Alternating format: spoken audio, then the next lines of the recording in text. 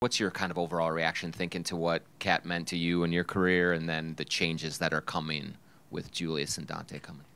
Uh, I mean, I think everybody know KAT, my brother. Um, so that definitely hurt.